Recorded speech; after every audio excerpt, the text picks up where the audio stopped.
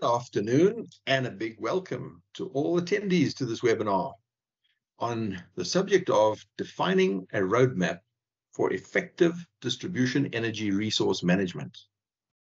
My name is Chris Yelland and I'm the Managing Director at EE Business Intelligence and I'll be your host today, signed in from Johannesburg. Big welcome also to all our presenters who will be introduced to you in due course.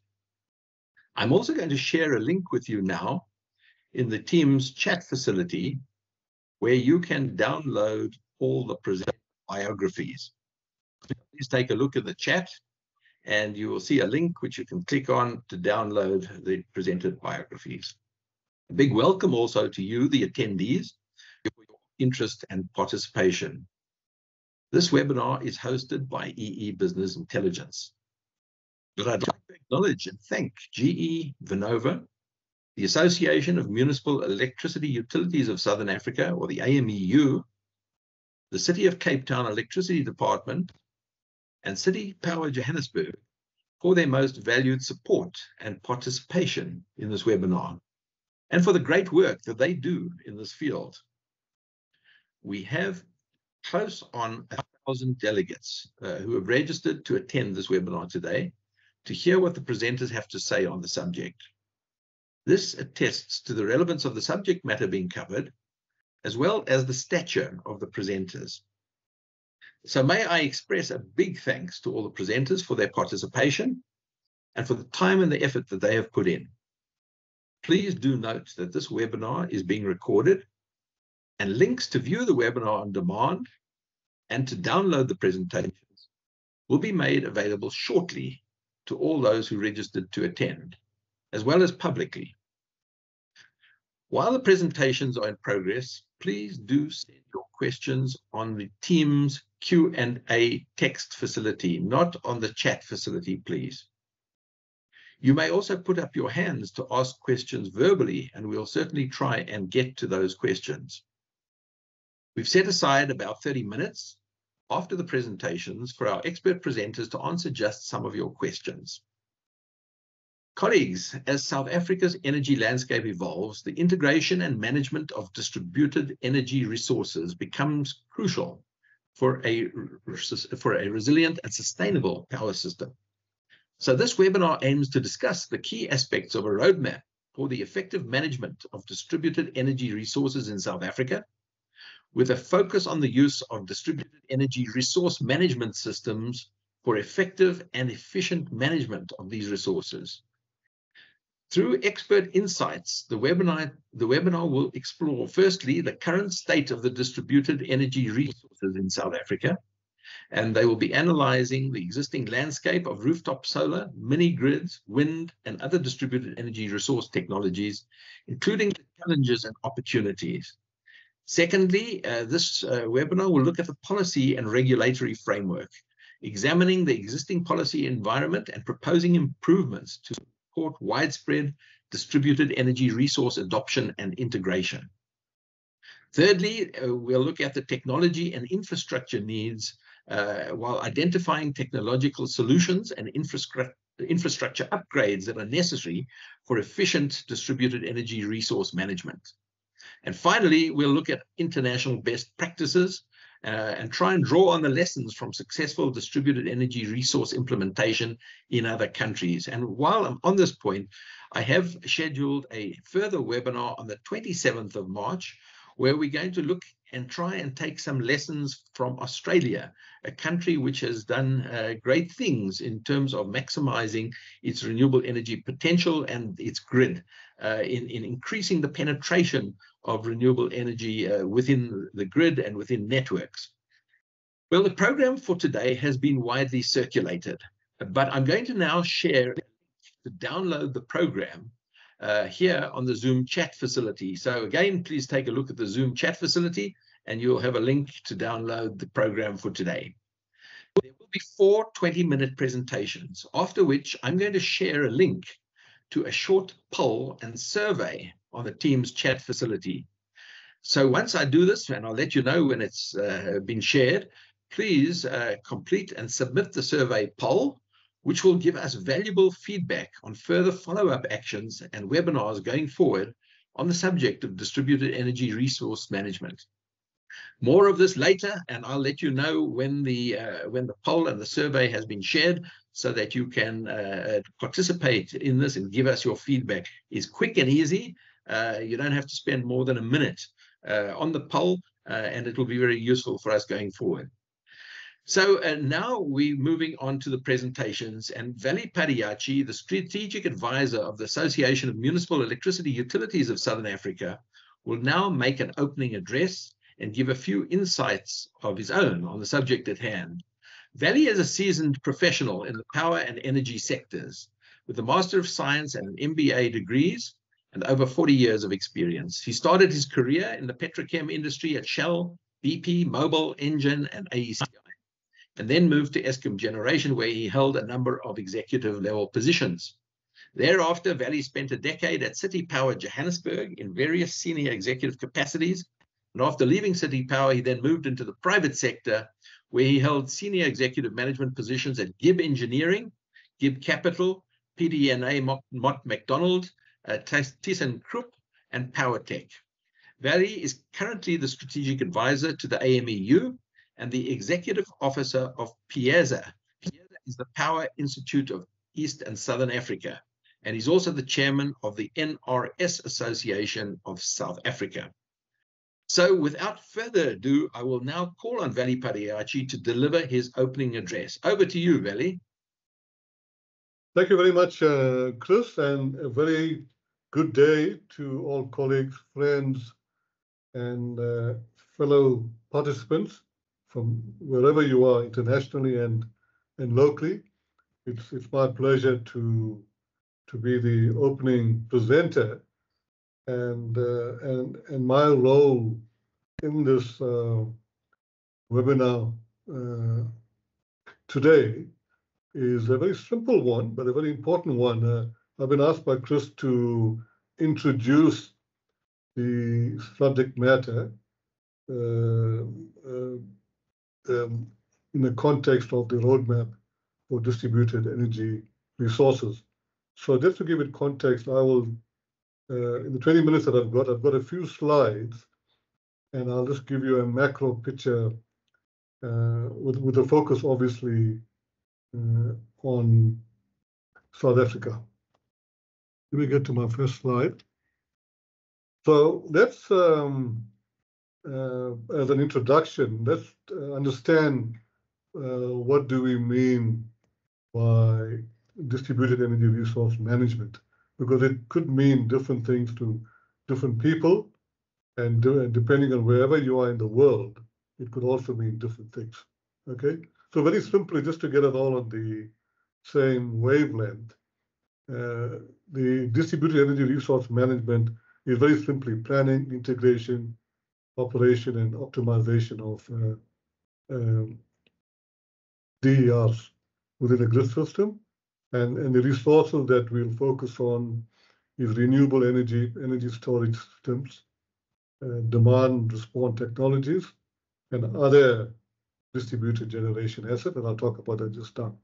And very quickly, the key aspects of the of that management system is is these uh, um, attributes, but I think the important one that's kind of new in the arena is market participation, and, and South Africa is going into that arena shortly through the uh, through the creation of the transmission company, and of course the data analytics and so on. So these are the key aspects to it.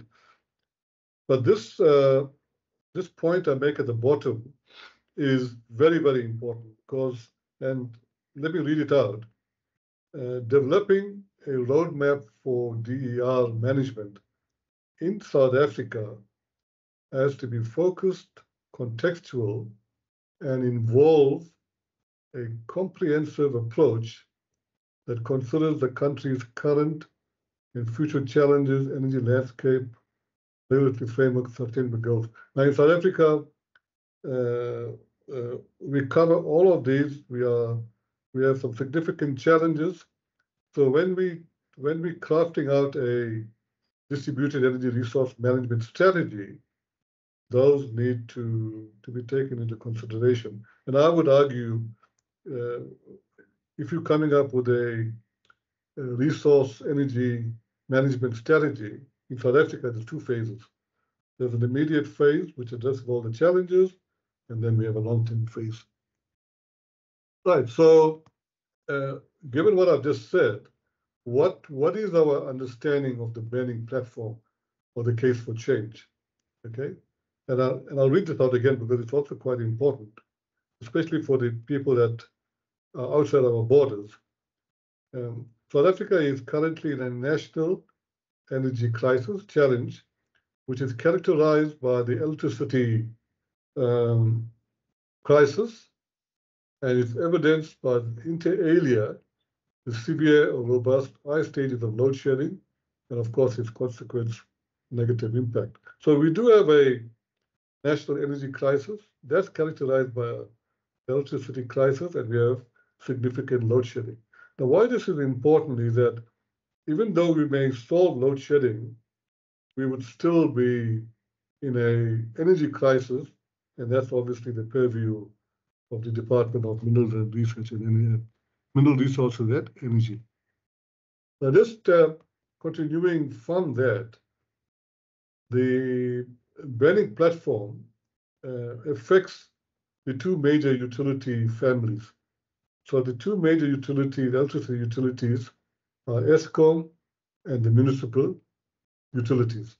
So yeah, what we're saying is that in terms of the burning platform, which has to be factored in in a resource uh, management strategy is that the current performance of these utilities, Eskom and Munich, and it's common knowledge, is arguably fast accelerating downwards in a negative spiral.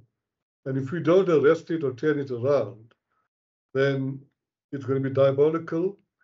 And we would argue that these utilities, and I think we are there already, will not ex execute on their respective service delivery mandates.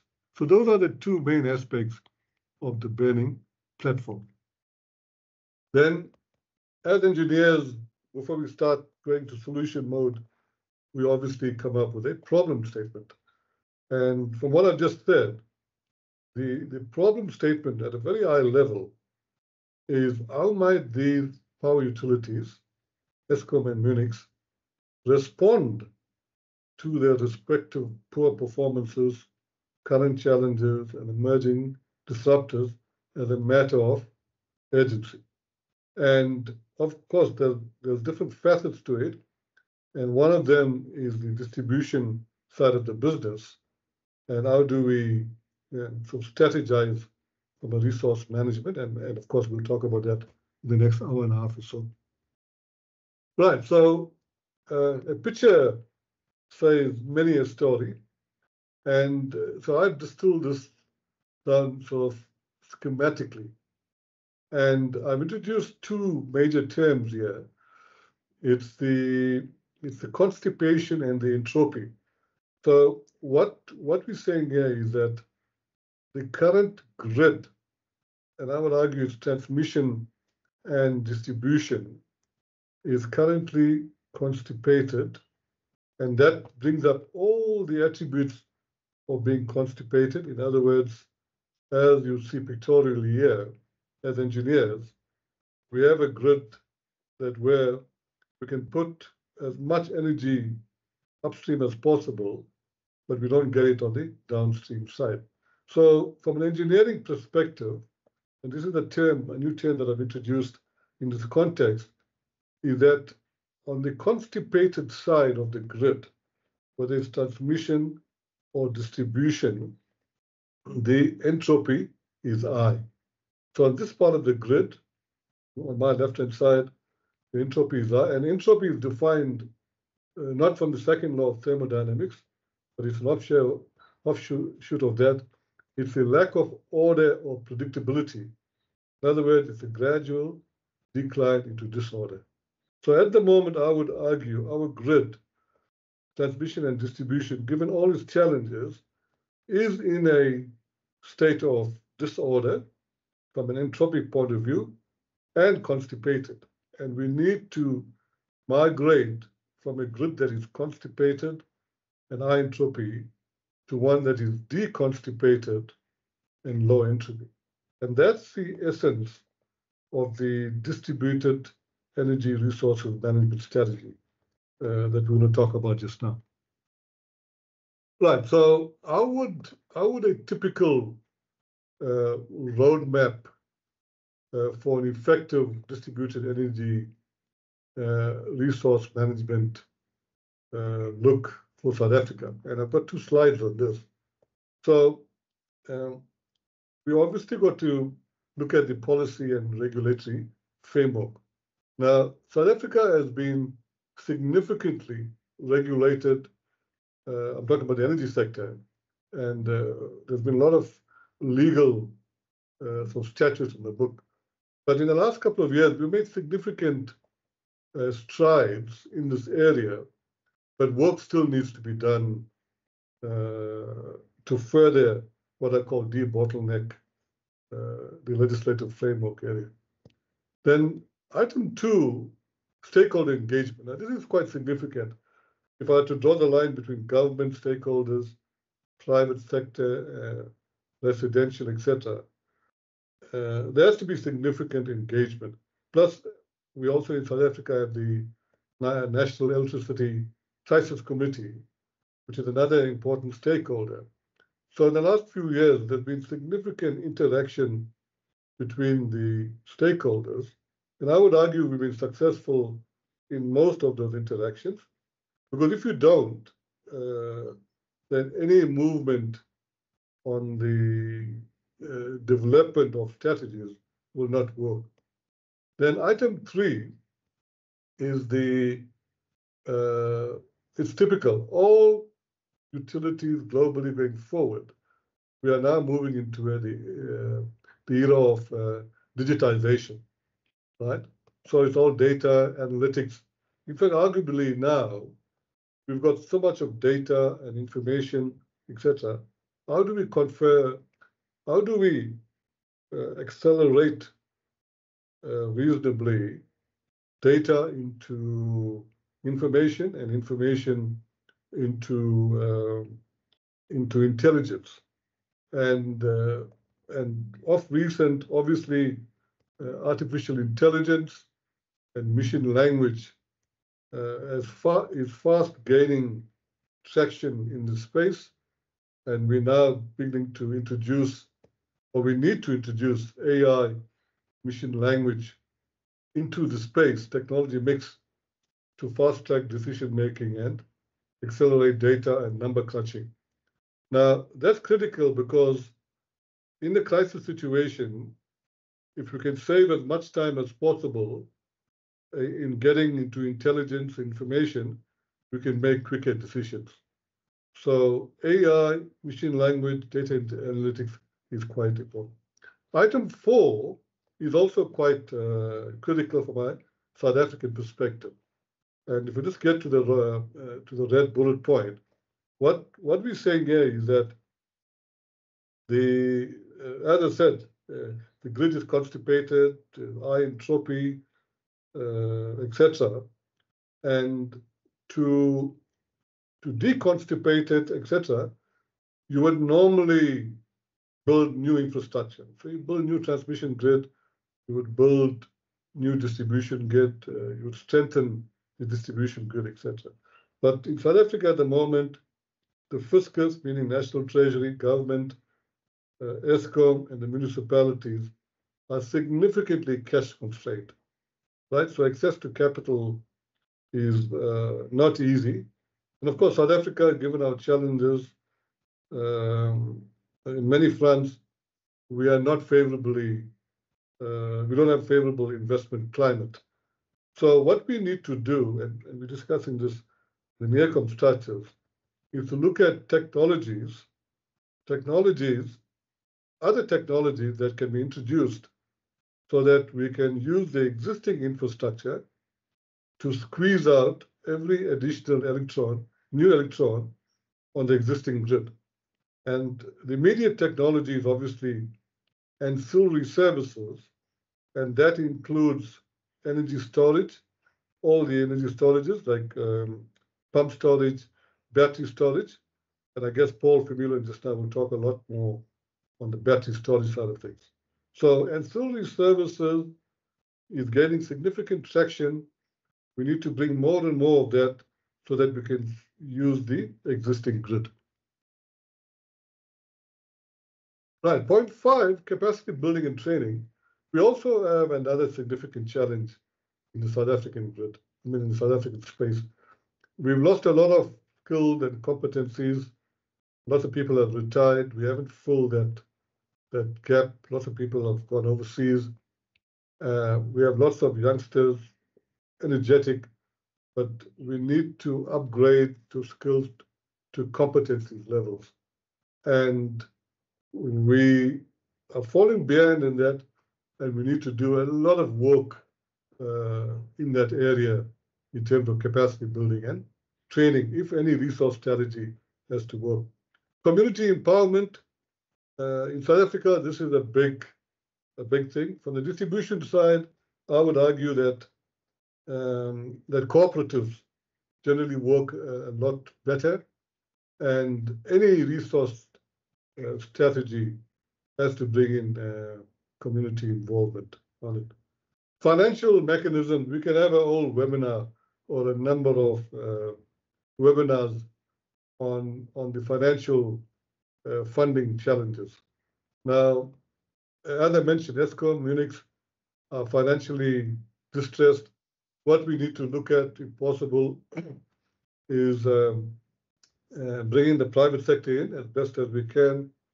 We've got to look at uh, off-balance sheet uh, funding, funding models, boot, bot, um, share of revenues, etc., etc., looking at operational leases, capital leases. So look at grants. Obviously, grants will be the the first point of call. And then uh, uh, otherwise, uh, because remember this this sector, this industry is very capital intensive and asset intensive. So, and that's why it's taking a bit uh, longer to to roll out these new electrons onto the grid. Arguably, the global uh, geopolitical conditions are also exacerbating uh, the conditions. Uh, we being in Africa, the deepest south, uh, we tend to fall back in the queue, and especially in terms of storage. And and if you want to jump the queue, you you pay at a huge at a huge cost. But arguably, uh, the funding has to be sorted out because, uh, unfortunately, and I think this is an important point, we are trying to solve a crisis situation where there's inherent challenges within the municipalities and Eskom. So you've actually got two crises in here. You've got the power crisis, the electricity crisis, and then you have survival crisis, if I call it, between the utilities. And generally, from a good business management point of view, you shouldn't be doing that. You should be addressing one crisis, solving that, and getting to the others. But we don't have that luxury. So, so if you, and I don't want to get there, but if you look at the VGBEB report, they also argue on the same lines that we need to separate uh, the crises. And then, of course, uh, monitoring and uh, evaluation, uh, any strategy that that's being implemented, any business models, etc. You need to what you call assess if it's working. In this case, you could evaluate the frameworks, assess the performance, impact, and, and sustainability and, and review and update. And uh, and I'm now going to move on to our next presenter. Uh, my humble apologies, Vali, uh, uh that uh, we lost you there.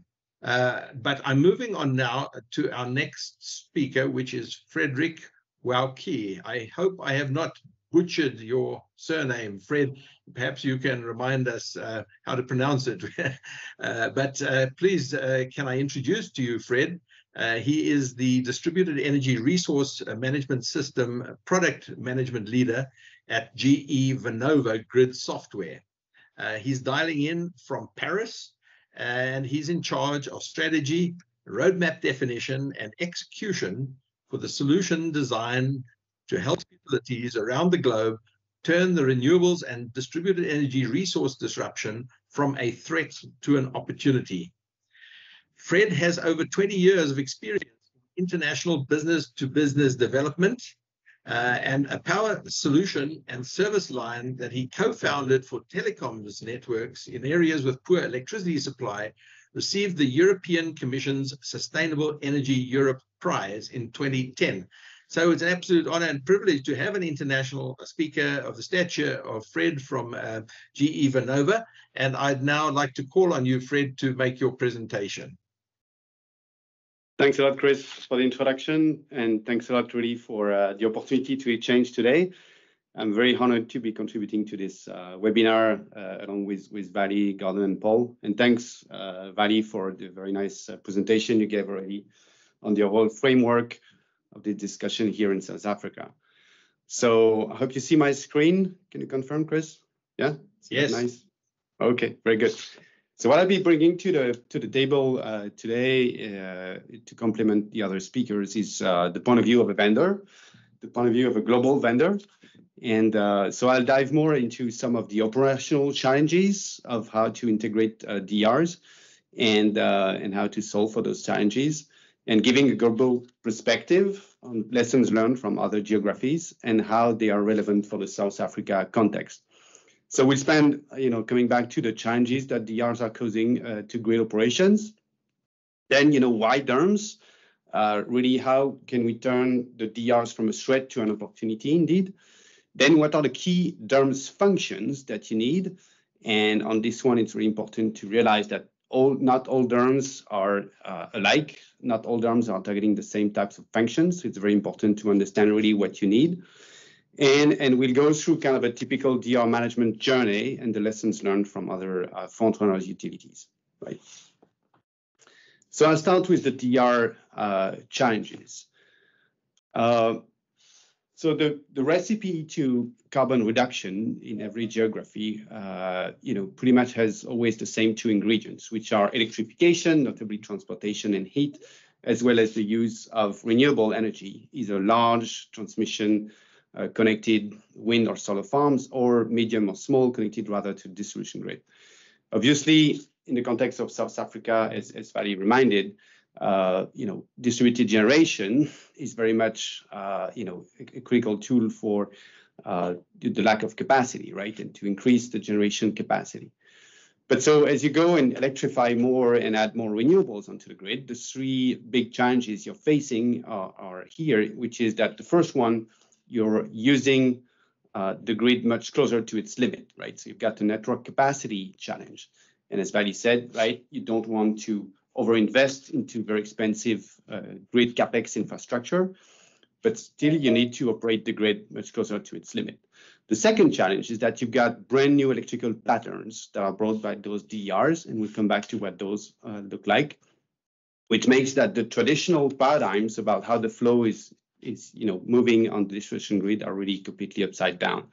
And the third one is new stakeholders and new regulations, right? New stakeholders with aggregators, with DR service providers, with microgrid operators. I mean, you name those. They all need to make their living to make a healthy business, in addition to the utility uh, meeting their missions. And new regulations are there to try and help orchestrate the overall ecosystem, right? So the key question here is really how to allow more DRs to connect to the grid while keeping the lights on for everybody and at the minimum cost for the overall community. And so for grid operators, are DRs only creating problems or can they be a solution as well, right? So that's what we're going to see. So I was talking about new electrical patterns. Uh, I'll point to several of them just so that everybody understands the magnitude of the challenges, frankly, that those DRs are creating to the grid. So the first one is voltage quality, obviously one of the first KPIs that you need to drive as a distribution grid operator. And so when you have a, what we call a solar neighborhood, typically, which is a neighborhood with a lot of residential homes or commercial or industrial buildings are equipped with rooftop uh, photovoltaic uh, PV kits, then if typically you've got a midday and a mild day where you've got not a lot of heating or not a lot of air conditioning, not a lot of load anyway, you've got low load and a high generation. And when this is the case, obviously the voltage is increasing and increasing to the point that you may really face voltage violations. And if it happens that just a cloud cover passes by, suddenly the generation drops a lot and you suddenly now are back to a low voltage situation. And so you're you face the risk to be always, you know, over voltage, under voltage, with an intermittency that obviously comes from, uh, you know, cloud cover typically? So voltage quality is, is a challenge in presence of DERs. Hidden load is yet another challenge. So this one is hitting to the second KPI, which is really the reliability of the grid, right? So in presence of distributed generation, you do not have anymore just one load. You've got two loads on the grid.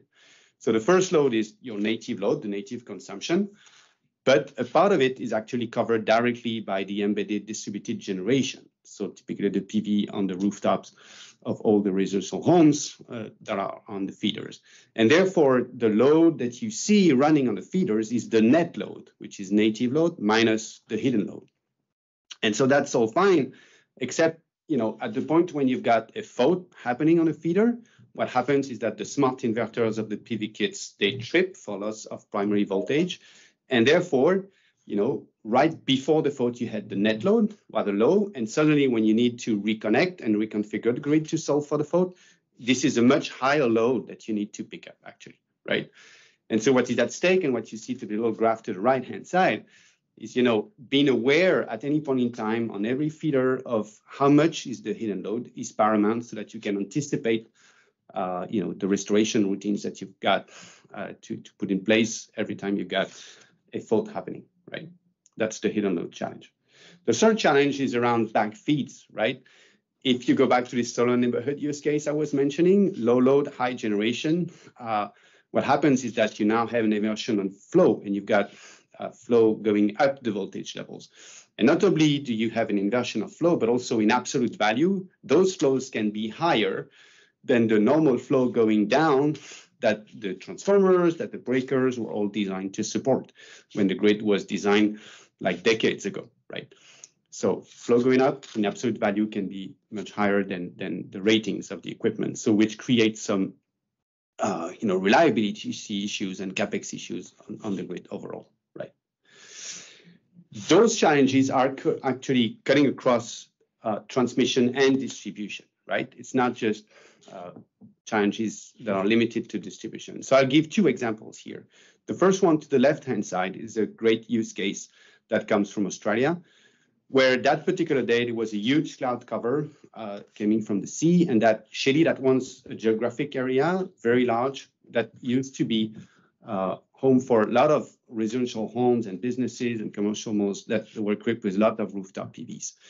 And because this big cloud shaded all those uh, PV kits at once, even though they were all very uh, granular, very small at the low voltage level, it created a loss of generation that was equivalent to when the system is losing one very large conventional generator. And so therefore that directly hit the frequency of the overall system, right? So very small DRs impacting up to the system level.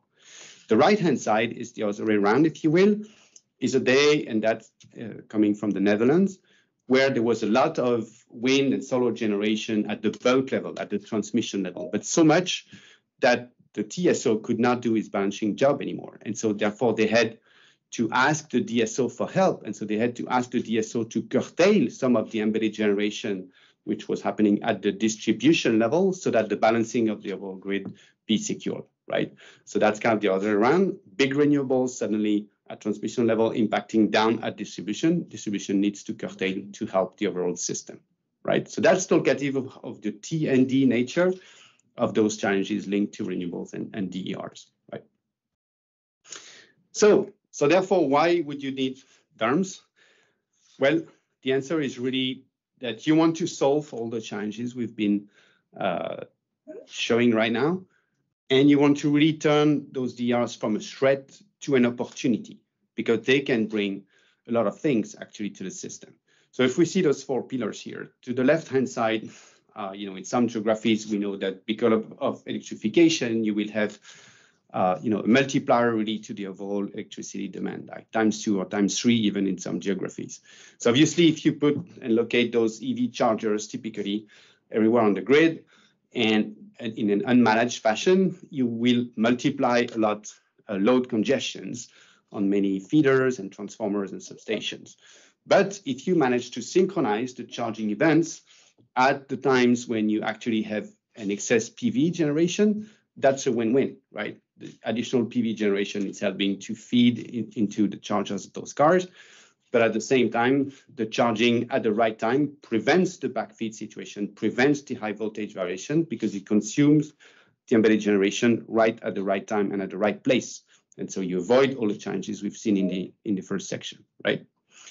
The second column here, upside down generation. So in some countries, DRs have been used so much uh, to increase the overall capacity of the grid that you now have more generation coming in directly from distribution than there is flowing from transmission into distribution.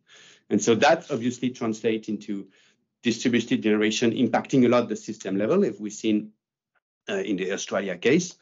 Uh, but also these DRs, as we've seen in the Netherlands case, can actually help the balancing, right? If they are harnessed, if they are managed, if they are synchronized, they can really help the system level. And vice versa, if for transmission use cases, you want to use some VPP, say use a demand response event, uh, you know, to help for the balancing, those demand response devices, they're actually located at the distribution level. And so if you do that in an unmanaged fashion, what you may cause is further issues at the distribution grid, right? You solve for transmission, but you create more issues at distribution because you may tap into devices in a pocket of the grid where there is already a low load and a high generation. So if you reduce the load even further with demand response, you exacerbating the backfeed and high violations issues, right? So you need again, you know, to synchronize transmission and distribution. So you need to harness and to really synchronize those DRs. The third column here calls to the severe weather events. Unfortunately, climate change is happening, and so we see more and more severe weather, uh, events happening. And DRs, obviously, in addition to the you know increased capacity that they're bringing, they are decentralized, so they help to keep energization in some pockets of the grid. There is restoration, and we've got even projects where we are using DRs for the ultimate black start scenario, right? Cybersecurity is the fourth one. Uh, obviously, if you want to you know, harness all those DRs and be able to monitor and control them, uh, you need to do that in an efficient and cost-effective manner, which is over the internet, and we'll come back to that. And so, yes, that increases uh, you know, the attack surface to your overall enterprise. Uh, but if this is secured, uh, this is something that you solve and that you really uh, that really allows you and you know to unlock this flexibility to help for the overall grid. So the net of all this is to say that grid operators cannot keep the DRs unmanaged, right? You cannot just welcome DRs onto the grid and hope for the best to happen if you don't manage DRs. So that's really why DERMS is critical to, you know, bring this additional capacity in a way that, that uh, to take Vally's words, you, uh, you know, you, you don't create more entropy, right? You create more order, predictability as you synchronize all those resources all together. So uh, so there are various definitions of DERMS. So here is, is one by Gartner, uh, a comprehensive solution to, you know, communicate, control, orchestrate, optimize uh, either customer-owned DRs or, or third-party-owned DRs uh, in, in the grid context. So that's the wider definition of DERMS. Uh, what I think is more interesting is to see, you know, really who uses DERMS, and therefore that's totally of the challenges it's solving. So three user persona here, the grid operator, the grid engineer, and the program admin. The grid operator is really the one who ensures the safe operation of the grid. The pain points is that he sees more and more of, uh, you know, backfeed situation, high or low voltages, intermittency stuff. So he, he suspects that the DRs are causing those issues, but because the DRs are not managed, if they don't have a DERMS, uh, you know, they can't really uh, trace back to the cause, right, and understand and, and, and root cause analyze those events. uh, as they become more frequent. And the ADMS alone cannot provide adequate information. And so more and more with only an ADMS, you uh, trending towards uh, misrepresentation of the reality, right? And so, so that's what the grid operators are, are, are suffering from in their daily job to keep the KPIs right and to keep the grid secure with the right quality of service. The grid engineer is really there to help the grid operator, so designing some uh, you know, business processes and business routines and switching logics and all that. Uh, the grid engineer sees that more and more the traditional uh, logics are failing. You know, think of the hidden load uh, paradigm that we were talking earlier. And so they want to help the grid operator. They want to tune and design new processes, but they don't have the tools to really what cause what, what happens and to evolve those processes. So that's a big, big pain for them as well. Program administrator is this role where, you know, in some utilities where there is already some demand response program. And so they've got siloed programs. They want to evolve those. They want to enroll more devices, but don't they don't really have scalable tools to do that. And and so they are uh, left with just a few handles that they can pull together, but it's not something that can really evolve. So that's the pain points that those those uh, user persona are facing, and, and, you know, and DERMS is really there to solve all those pain points and to bring predictability and order and and better use of the DRs which are at hand. So, uh, so what are the key DERMS functions now? I was saying in introduction that not all DRs are DERMS are alike, right? And so so we need to spend you know a few minutes on, on what are the key the key DERMS functions here. So the first one is you need ubiquity in communications. There's zillion different pathways to DRs, even using AMI head-end communication or using internet-based communications. You need to use the standards as much as possible. IEEE 2035 is the leading standard, OpenADR as well. But you need also to have an ecosystem of vendors because some DR vendors, they are not using standard communications. Uh, Tesla, for instance, Nest as well. So you need that ecosystem uh, play as well. And you need a flex market interface in the case that uh, regulation mandates to go through flexibility market. So ubiquity in communications is key.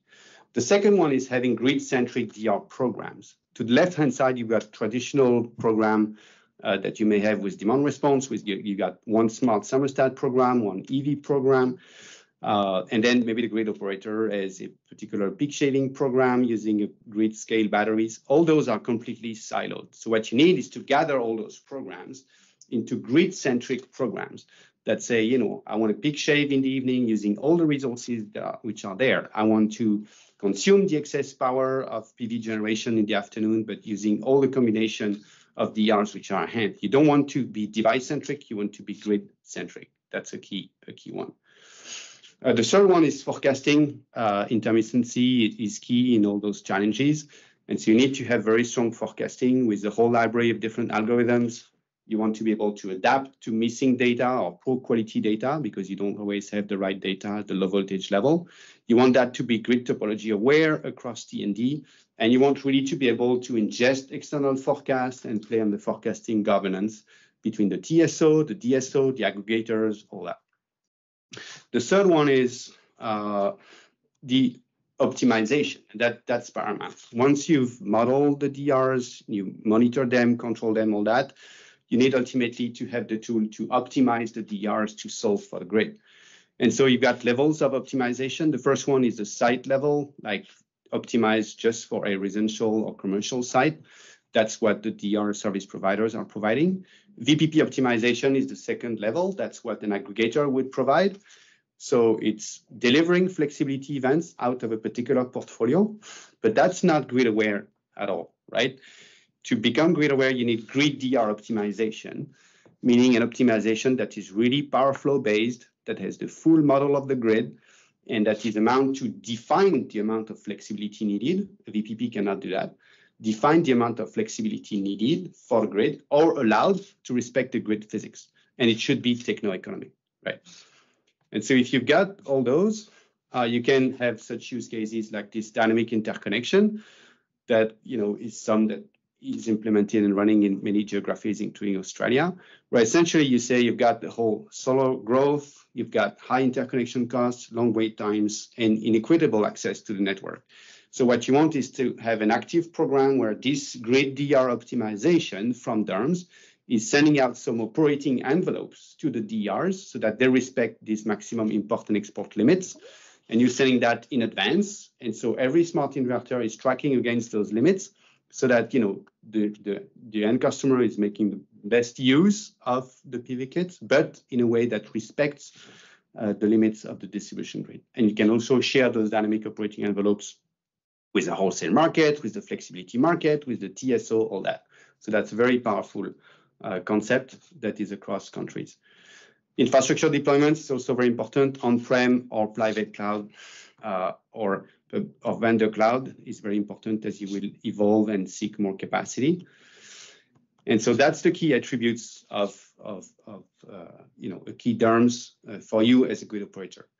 I'll end up soon, uh, Chris, with just this DR management uh, journey, just to say there's a natural pathway uh, in terms of, uh, you know, from maybe the situation you're in today that you have very little DR awareness to initial level of DR awareness and modeling to being able to monitor and control those in a technical fashion, to ultimately being able to control and optimize them for not just technical, but also the economics of it.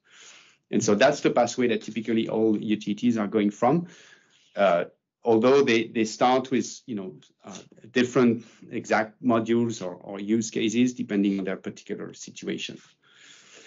So uh, I'll conclude now just to say that uh, in terms of the roadmap for effective DR management, the lessons learned from, from, utilities are, are, are that it's been done essentially, right?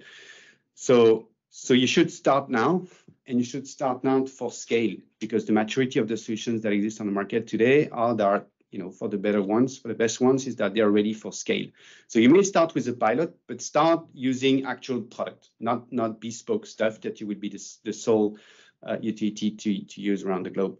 So what are your priority use cases is very, is very important to lay out clearly.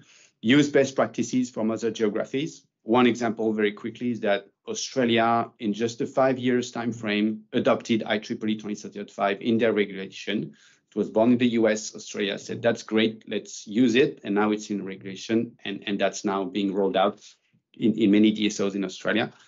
You may come back to this, Chris, in your next webinar use those standards absolutely and use a modular architecture right? You don't want to to start with a big bang. You want to go step by step so you want to implement modules stepwise as you need them and start with the no regrets right? There will always be very political frankly discussions about tso and tso coordination about you know pricing and and incentives to the end customer all that yes but you need to harvest the DRs which are being rolled out, model them, monitor them, forecast them, control them, all these are no-brainers, so please start with this.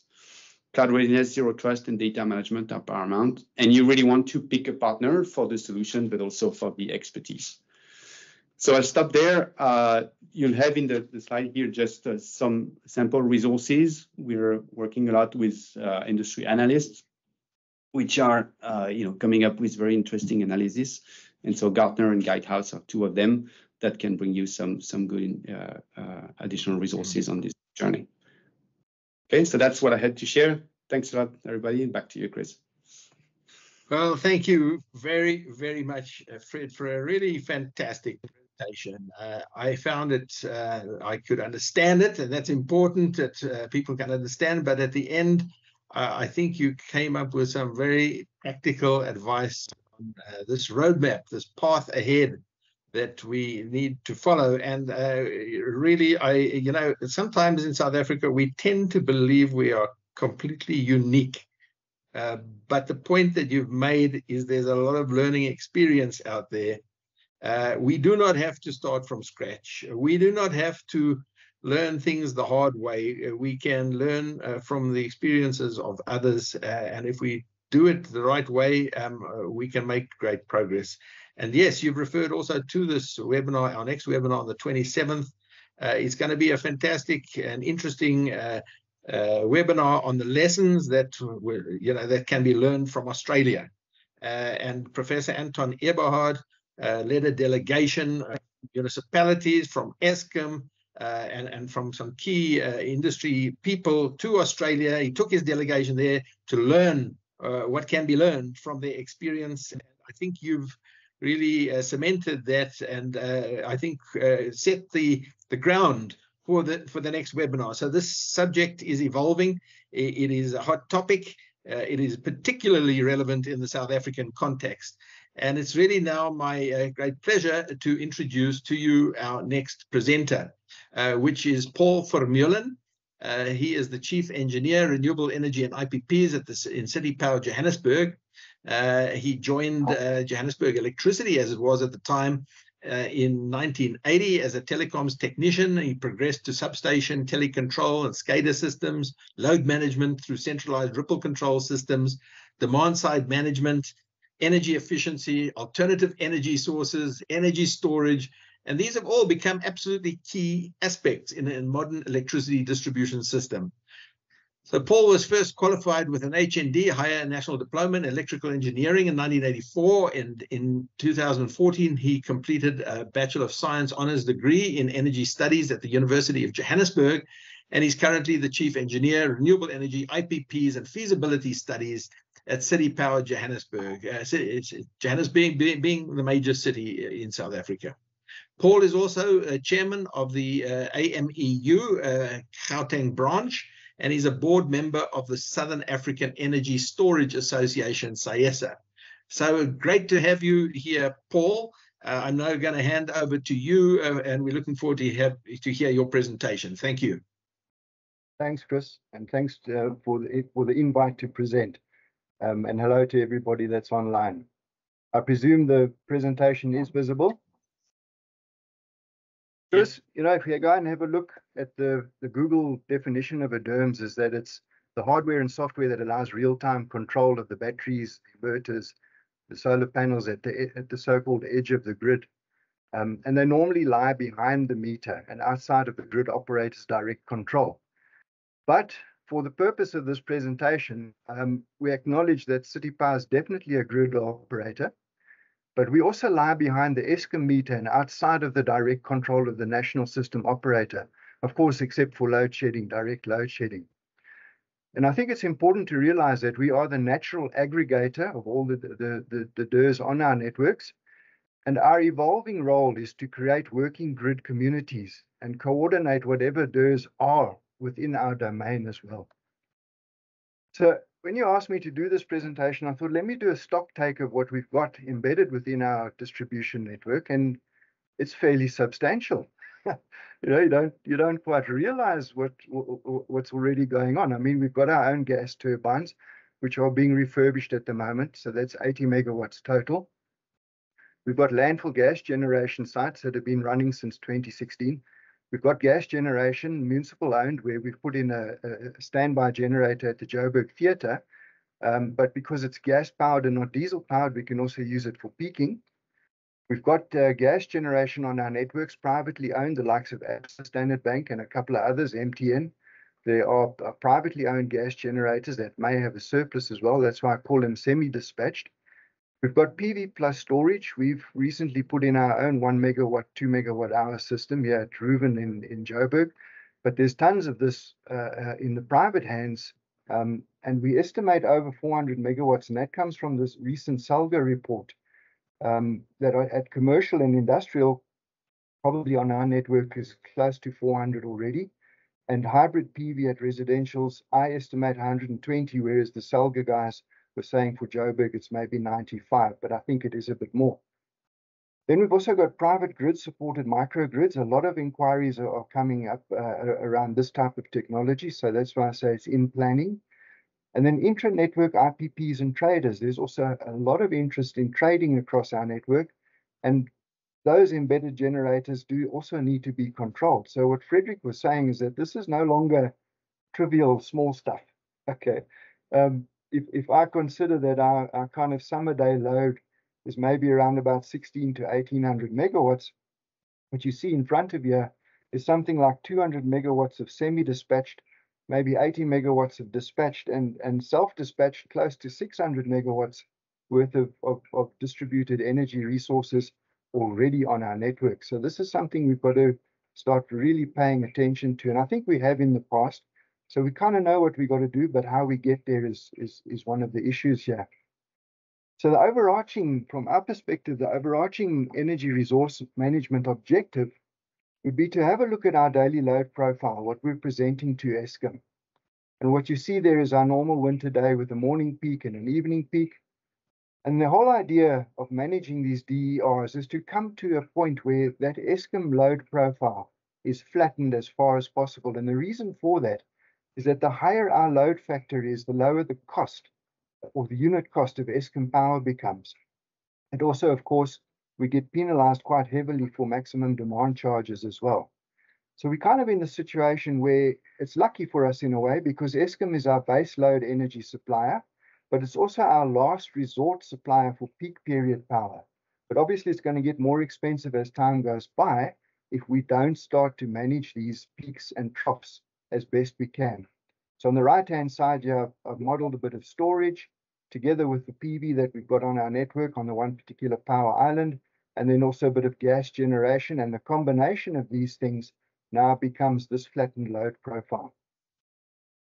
So in terms of managing DERs, there's there are two really, really two ways of doing this. The one is a passive control approach, where you incentivize a load profile or behavior change using time discriminated tariffs, feed-in tariffs, and demand charges. And of course, the enablers here are the smart metering and billing systems, which we already do have. We've got programmable hybrid inverters, many of them on our network, but probably not being used correctly. We've got solar PV optimizer systems. Everybody walks around nowadays with a, a cell phone app that tells him exactly what's happening with his solar system at home. And you've got building and home energy management systems that are becoming more popular and associated with these things as well. Also, very important here is customer education programs, um, getting across to customers why you want to do this. So the passive control approach applies to all customers really, C&I customers with discretionary scheduled load, where we can re reduce demand uh, according to the tariff signal. Particularly high LSM residential customers, the ones with the stoves and the two geysers, etc., and customers with hybrid PV systems, which is also generally the high LSM residentials. Then also you've got the active control approach. Now, an active control is real-time control where you require two-way communication control systems and it requires integration of IT and OT systems from our perspective. I'll, I'll, I'll lean a bit on more on that just now. Enablers, the existing ones, SCADA monitoring and control, smart metering and billing systems, load management, hot water control systems we've got, home building management systems, etc. So now the smart metering and the SCADA do have substantial archiving capability. But what we're talking about now is, is so much data, it's terabytes of data that you need to manage and use that data to make sense of what you're going to be trying to do. So the active control approaches would apply to dispatch generation and energy storage facilities. All your demand response programs are, are active. Smart meter load, load limiting systems, our, our pilot has been tested in that regard. And smart meter dynamic time of use tariff systems, I think that the load limiting is going to involve, evolve into a, a dynamic time of use tariff in the future. We've got our hot water control systems in place already, and the new one is this internet-based home energy management systems. So there are those two, those two techniques that could be applied. From Eskom's point of view, from the generation and transmission um, uh, perspective, you definitely want to be able to get hold of these distributed energy resources and send the signals through to us to do that. So for example, frequency control um, Eskom would send a demand, uh, a demand response signal, and that needs to be relayed on to whatever we've got within our network. The same would apply to reserve margin management. That's also more of an active approach. But then you've also got this management of the morning and the evening peak, the evening peak in particular, where, where tariffs are used to do this, and we need to pass those messages on as well. But then we've also got our localized uh, resource management drivers we need to op optimize the security of supply. That's the most important thing, I think, for us. So we need to use dispatch uh, resources to minimize the, the load shedding quantum. That's what we're trying to do at the moment. If we can also uh, organize a, a, little bit of load reduction in return for not load shedding, we, we try and grab a hold of that as well. But also we need to make sure that we reduce the demand beyond what Vally calls our constipated uh, substations, where you have uh, network constraints you would now want to start using these resources in a more targeted fashion, if I can put it that way. But one thing I also wanted to touch on here was that in terms of instantaneous peak demand control, you've also now got to start managing the energy deficits. And what I mean by that is PV systems that, for example, um, have used uh, uh, their battery to ride through a, an energy uh, through a load shedding uh, incident. You know, when that when that system when the when the grid returns, um, that becomes a, deficit, and and all of a sudden that system, if it's not correctly programmed, starts to suck up energy. It's a negative load kind of thing, uh, more or less what what Frederick was alluding to. Of course, we know about this from hot water control systems. The longer you leave a geyser system off, the more difficult it is to put the energy back that you need to put back. So it's no longer just trying to manage your peaks, it's also now trying to manage the deficits that you, you're causing within the energy system itself. And this kind of gives this picture of, of, of the whole thing. The DERs are generally in our domain, in fact, always in our domain. And you've got this scenario where you've got national control, regional control, our local distribution control, the end customer, and this this bilateral, uh, um, bidirectional communication and data flow scheme that needs to be set up and put in place, which we don't really have at the moment. We've got parts of it, but we don't have it. And those are, of course, the control signals moving in one direction and the response signals moving back in the other direction. So making it work in real time, information technology and operational technology needs to be integrated. So uh, a DER management system may be a standalone system or it might be a plug-on system. However, in our case, it's more likely to be a combination of an IT and OT with data integration links requiring an integration strategy. You're going to think, you have to think very carefully of that. We do have some initiatives in place, but they're not properly consolidated.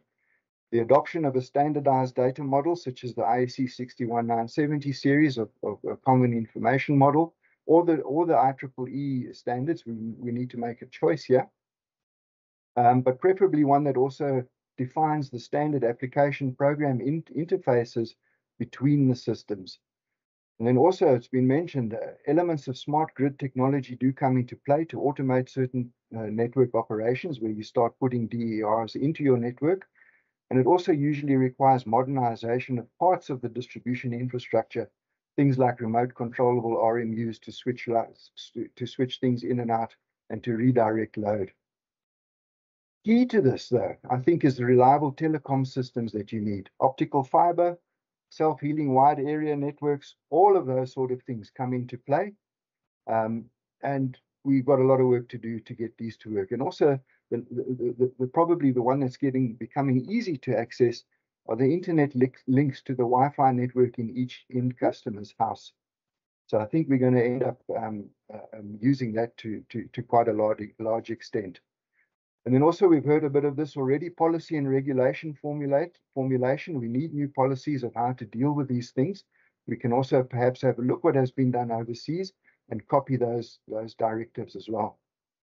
We also need to think of bylaws that need to come with this as well legal and commercial. You've got to establish the new business processes within the business here and get your your your your your your, your agreements and your legal standards, your, your standard use of system agreements, your standard commercial agreements tailored to the nature of the product that you that you want to engage. Also, application of relevant technical standards to engineer these DER facilities with the right functionality. So each type of technology requires some sort of a functional control capability, and you've got things like IEC 62898 that specify microgrids and how they should behave. Um, functionality, that this kind of functionality must be included from the very start of the engineering process. It's very difficult to go and put something back into a system if it's missing from the from the start. And then of course compli compliance to grid codes and national and international standards. The next few slides are, are just some experiences that we've had already um, and are, are, are, more on the, on the organizational change kind of thing.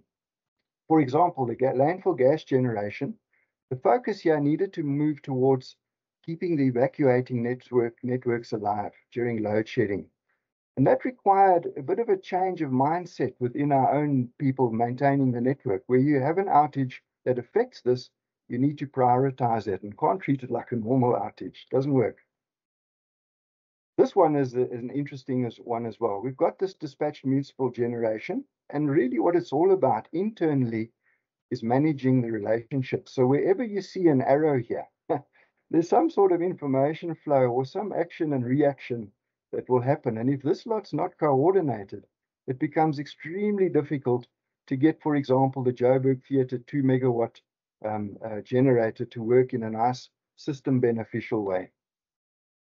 The high LSM residential hybrid PV systems, I think there's a fantastic opportunity here. At the moment, well, that's the closest we have to the Google definition of a DERMS, I would say.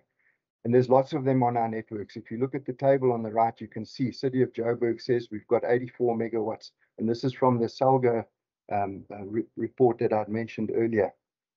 So, so as in, apart from being the antidote to load shedding, these systems can also be used to huge system benefit if they're programmed right. And this is where resource aggregation through tariffs and smart meters is relevant. The time of use signals are needed to reduce the demand during peaks using stored energy. And we need to apply actual demand charges to avoid energy hoarding and promote PV system optimization to recharge only from PV sources, for example. We've also got our Reuben 1 megawatt PV with 2 megawatt energy, energy storage. And the trick here is that you need a two-mode control system. So when there's no load shedding, the, the, plant needs to be used for arbitrage to reduce uh, cost of Eskom supply. When there's load shedding, however, its mode changes and it needs to be in a position where it can now provide the backup energy that you're expecting it to do. And that look, that requires a bit of day ahead forecasting. What are we what are we going to program this thing to do tomorrow, for example? It also leads on to, and we've had a lot of interest here where, where companies want to come and put in a microgrid, which is really more an energy storage system that runs their whole property. Um, and the idea here is that we as the distributor could aggregate all of this. And instead of actually load shedding, we could reduce demand by simply aggregating and dispatching them all at the same time. But you need all of these things on the right-hand side here to make this actually work. Um, quite a lot of things that you've got to set up um, within the business and without, outside of the business. And I think one point that by simply by enabling SSEG tariffs for bidirectional energy or trading, you actually simplify the control systems for your customers dramatically. So there's also a focus on getting those things to work properly as well. And then just the last slide here is a roadmap and summary. The management of the DERs extends way beyond the Google DERMS definition, as I'm sure you've realized. And for a distributor, the journey will require new organizational structures, new functional units, including legal resources to create and administer the new contracts, the supply and use of system agreements. We need new technology, technical standards, research, maintenance and application. You need to be quite sticky on that. Engineering, planning and construction management resources to provide access for these DERs. Engineering maintenance resources for your new tech. You need guys now that understand PV and gas generation and storage facilities. IT resources for the integration of OT and IT, acquisition of new energy management systems or software additions. If you buy some new software, um, perhaps an archiving system, You've now got to integrate it and make that work with what exists already. Or you must replace the entire thing. There's, there's merits to both.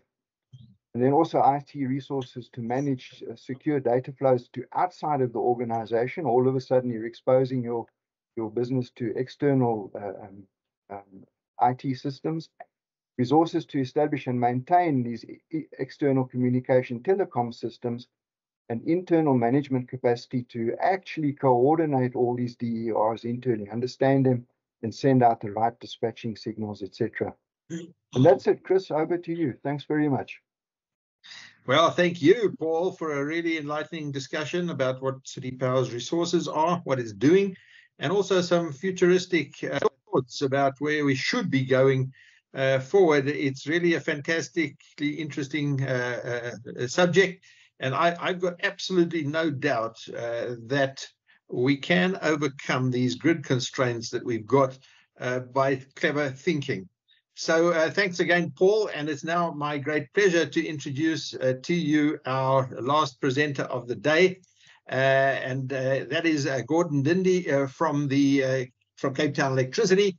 and he's the manager of the distribution system operator uh, in the city of Cape Town. Um, and, uh, you know, this uh, system has evolved from the traditional network control.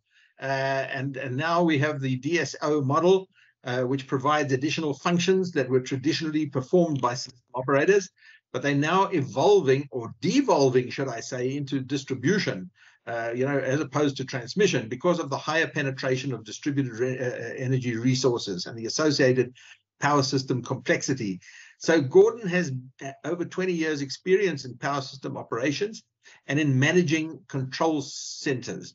And a highlight of his career was the successful consolidation of multiple fragmented municipal control centers into a really technologically advanced metro control center with a separate backup center providing dual redundancy. So really, uh, I think Cape Town is doing some fascinating work and Gordon is leading this work.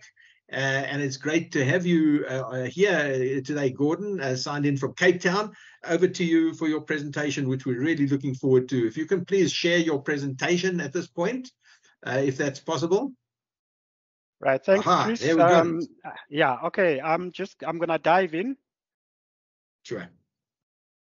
Okay, so as I was uh, preparing for this uh, presentation, I had an excellent opportunity to review the um, roadmap uh, for the evolution of the DER uh, and the initial planning, which was done um, many years ago, about five years ago, and compared it to the reality. Um, that is the way things have, have evolved. And it is clear uh, that changes and transformation uh, is happening at a faster pace than uh, what we envisioned, uh, largely accelerated by the higher load shedding stages. And uh, in order to define a roadmap for the effective uh, DER management, we need to understand the overarching uh, regulatory and legislative changes that are currently uh, currently taking taking place.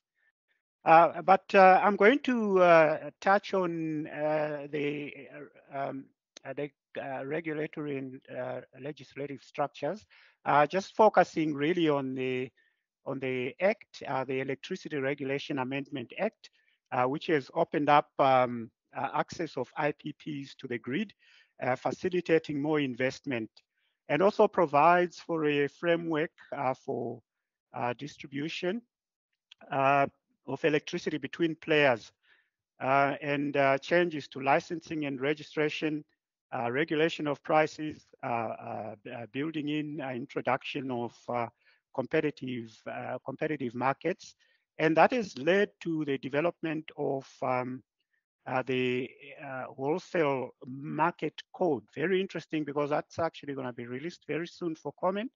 And uh, and then of course some amendments uh, that have taken place at the uh, NRS uh, specification level um, and forming of the T transmission system operator and market operator and um, and uh, that it's uh, likely to be interacting with the distribution system operators and and utilities.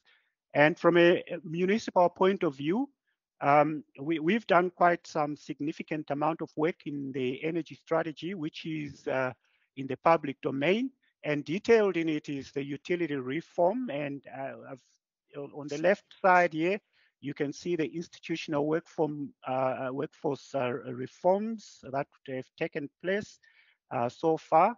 and tariff financial reforms that we are considering, um, infrastructure and technology uh, reforms uh, that we are expanding uh, based on exist existing technology. I'll expand on all these items. And um, just in terms of the roadmap objectives, um, being to leverage the DER value across the supply chain. And this is quite interesting because the focus uh, from a customer point of view is in terms of their own interests, but we also have an interest in terms of the reliability and uh, uh network security, uh, which I will expand on a little bit further. Adopt new innovative business models. Uh, if you recall, I think most of the uh, network operators are predominantly uh, managing networks, and we're moving into an environment where, um, you know, we need to be looking at system operating models that would then interface with the transmission system operator. Um, and, and that is uh, very critical in terms of the uh, DSO uh, DER orchestration uh, because the characteristic two-way energy flows could threaten the physical and operational limits of the distribution network, which is a major concern. We see it playing out already. Uh, it's playing out in the LV networks, um, and it's been uh, evolving over time. And we expect to see some of these things playing out uh, into the MV networks.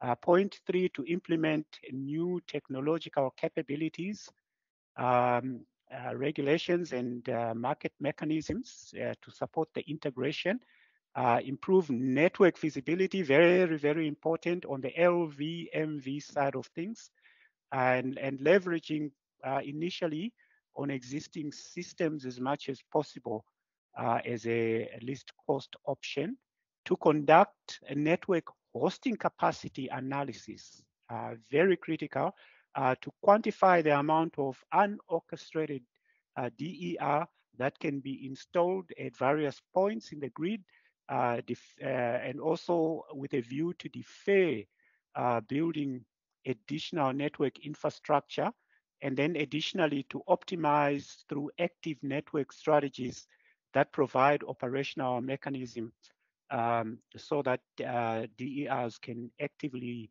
be controlled to prevent breaching of physical and operational limits once again, and then also to pilot uh, innovative uh, structures, uh, tariff structures there.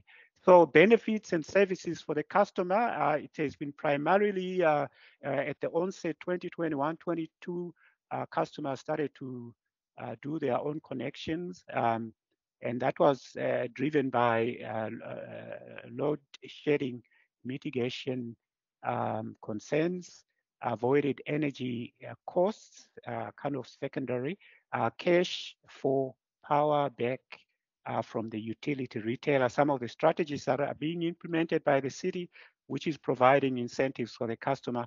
And uh, I think uh, further down there, you've got a reduced carbon footprint. Um, and then on the network side, which is interesting, is the network reliability services that we will be looking at um, and network capacity support, deferred investment in network assets for the system, ancillary services and flexibility, uh, reserve capacity, wholesale energy, and then for generators, retailer, retailers and new business opportunities, uh, risk management, overall portfolio management to hedge against higher energy prices and arbitrage. Um, opportunities for innovation and new product offerings. We should expect to see some of those things. And then in terms of uh, potential DER services uh, that can be uh, procured uh, either directly uh, bilateral agreements or through uh, market engagements, which we foresee in the future. That's uh, network reliability. Uh, when uh, the grid supply is lost, uh, for instance, load shedding, unplanned outages, uh, DER could have a major contribution. And then more specifically, the inverter responses that would be required, specifications, um, uh, that uh, need to be detailed with that in mind. And then network capacity and support, uh, predominantly deferring or avoiding uh, investment in networks, as I've indicated earlier. Uh, active power uh, during evening peak because of the variability in the load profile, which we have seen has transformed significantly. We started to see differences when we compared with previous years to last year summer, beginning of summer into this year. Uh, reactive power to maintain voltage profile. Uh, there we focusing on quality of supply and then delving into uh, ancillary services uh, where we see DER providing flexibility and ancillary services, uh, including contingency, frequency, question mark. Uh, we, we need a little bit to expand on that uh, because the responsibility is a system operator, so it's that coordination that needs to take place. Um, voltage regulation and location-specific services. Uh, we've seen uh, NMD exceedances in parts of our network um, where DER could and uh, demand response activities could um, uh, you know help mitigate those situations and then reverse cap uh, reserve capacity that standby capacity uh, available capacity and uh, demand response capability uh, dispatched during system peak periods um, and also as load shedding mitigation. And further in terms of the wholesale um, energy this is evolving uh, displacing the need uh, to produce energy from another generating source um, and also avoid grid related losses due to proximity of DER to end uh, user loads. Um, overall as well, uh, in terms of the risk management perspective and portfolio management, what we've noted is our portfolio is increasing. Uh, if you look at our utility connected generation, uh, Steenbras uh, gas turbines, which amounts to about 240 megawatts. Additional to that, we have uh, DERs coming uh, to, to the fore, and all of this uh, needs to be, to be managed. coming to the DER roadmap, um, I've broken it into four, and this is guided by the energy strategy. Uh, the left side, um, beginning about 2021 or so, we started to look at these uh, points of interest and putting structures in place. Um, so uh, enhance existing infrastructure and storage. Storage is uh, uh, quite critical in terms of um, balancing activities. fortunately, the city has got a big battery in the form of the pumped storage scheme. Uh, but that is something that um, uh, you know utilities and municipalities will have to look at. Uh, but I think the easiest to implement would be battery energy storage systems rather than pumped storage systems. Um, and then, as I mentioned earlier, hosting capacity. Uh, that is with special focus in uh, the fair, equitable uh, grid access, hosting capacity, power flows, constraints, determination of network support services, etc. Procurement, uh, big thing. Uh, we have um, uh, markets that are detailed in the that's uh, wholesale markets detailed in the electricity regulation uh, amendment bill, and also structuring in terms of um, the the codes um, and that will soon be out for comment.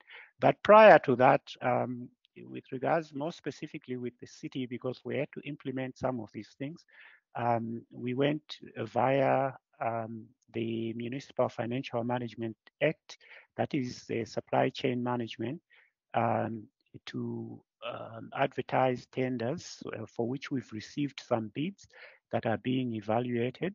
And we expect by about 2026, 27, there will be a significant amount of generation assets or DERs rather, uh, that will be under the management of the distribution system operator.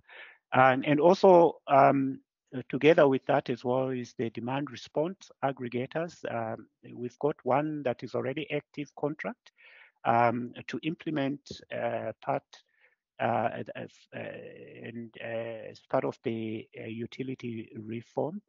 Um, so overall, we expect to see some a mix of non-dispatchable, um, unorchestrated, and as well as dispatchable DER uh, coming to the fore over the next few years or so. Uh, really uh, extremely challenging which leads us to the uh, technology uh, because it, it, the modern grids you, you really can't operate from a, a paper network diagram or a spreadsheet. Uh, it's become very, very complex. And most importantly as well, very, very key is to have uh, network access, uh, visibility and control systems. We saw um, Frederick, uh, he spoke quite intensively about the DERMS system. Um, what happened in our case is we um, um we were uh, migrating uh, the advanced distribution management system from uh, version 6 to a much more enhanced uh, version 10 and also made a, a decision uh, to have um, uh, GIS as the master data source. Uh, however, we've had to resolve some uh, integration challenges, and this is ongoing work. we expect that the um, uh, advanced distribution management system and uh, related applications uh, will have SCADA functionality, energy management system, generation management system.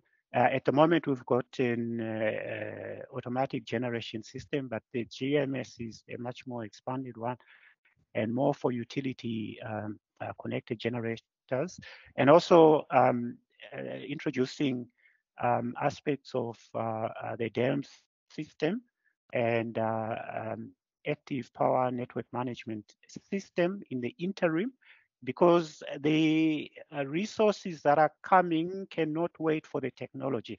So this is really a challenge um, because what do we use in the interim? So we have some pretty creative ways that we are using as a buffer whilst the engineering is taking place in terms of uh, the um, more advanced uh, systems that we would need in future.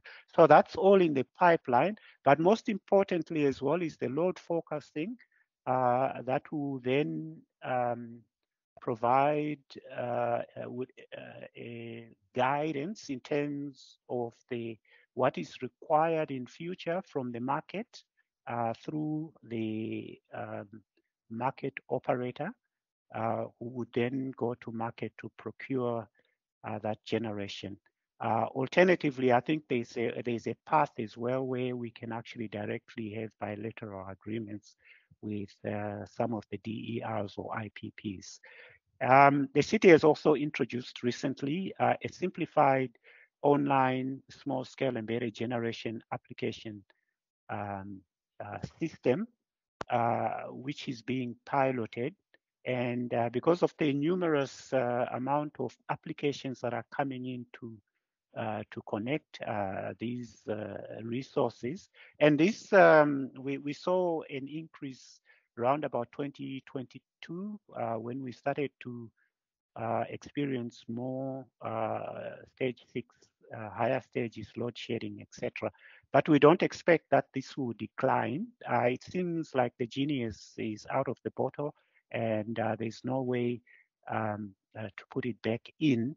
Uh, what we expect as well is that the um, uh, power system will find equilibrium uh, where there will be a balance in terms of um, the um, conventional power stations that will be provided by the uh, transmission system operator and also in terms of what the uh, distributed energy resources will be able to contribute from the municipal distribution and also Eskom distribution um, uh, grid. Uh, institutional and workforce uh, reforms. We've done quite an extensive review of existing uh, business models to align with with the changes that are taking place. There is also um, HR uh, human resource capability that needs to be reviewed, realigned, reskilled, very important. And um, uh, different roles that have unfolded, uh, more specifically in terms of um, areas of project management, procurement, etc., of the necessary generation um, skills required on the technological side of things in terms of um, the, um, in terms of the DMS uh, the, uh, rather than uh, basic SCADA functionality. the role of the distribution system operator and introduction of the market operator uh, the city has gone uh, towards uh, tending towards the hybrid model. Um, and th these are all critical to enabling the secure and efficient orchestration and participation of aggregated DERs in the power system. And then, of course, um, uh, in parallel with all this is the tariff and financial reform that are uh, underway. And uh, we, we see tariff signaling being part of uh, the uh, management uh, mechanism that will entail that the system operator will be able to provide provide the DERs or aggregators so that they can make more informed decisions. And then um, the last slide, uh, Chris, um, embracing the change. Uh, general challenges, as indicated, is embracing uh, the, the, the, change management structures, reskilling, ongoing training and development, um, lots of gaps there. We are currently um, uh, tightening or closing those gaps. And in the absence of training, there is not sufficient training yet. So some of these things are being developed in-house. Uh, investment in OTIT uh, systems, uh, this is very, very critical because uh, these um, the, the, the, modern grid is very complex. Uh, I need not say more. Uh, faster retail adoption than system can accommodate, very true. Uh, we're seeing things that are guiding uh, changes in our terrain. And then some of the technical considerations, um, uh, immediate to, to long term, uh, voltage is quite critical in terms of stability and regulation, playing out already on the LV, MV, uh, in terms of the voltage and thermal limits. Uh, frequency stability, uh, obviously with those assets, you can expect faster rate of change of frequency. so we need to have some discussions around that. I think the uh, transmission system operator need to come uh, to the party here as well because uh, there's quite some modifications that need to take place. Grid flexibility um, uh, supported by flex flexible energy resources, uh, battery energy systems, uh, some of those systems, uh, system protection that need to be relooked, uh, distribution congestion, very big. We've seen that already playing at MVLV uh, level.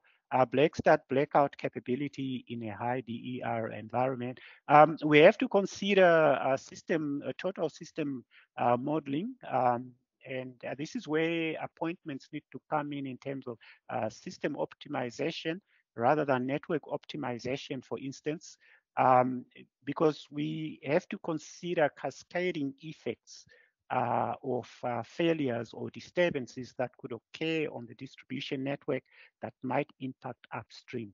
Um, and then grid forming uh, capability, uh, we introducing um, a high uh, conductor, uh, semiconductor inverters in the circuit.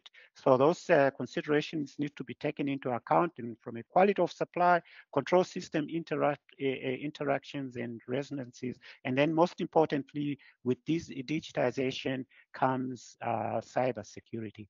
Uh, so we need to continuously implement OTIT uh, technology to manage the, the, the challenges. Uh, thanks a lot, Chris. Uh, that's all from me. Thank you very much, Gordon. Uh, and really a fascinating how this, this uh, evolution, uh, you know, from a central transmission system operator to a transmission operator plus distributed system or distribution system operators in the major metros uh, and and how this is going to lead into the the electricity market in the future uh, and and yeah really some interesting challenges that are faced, uh, but uh, some great work that's being done by Dindi and his team at the city of Cape Town.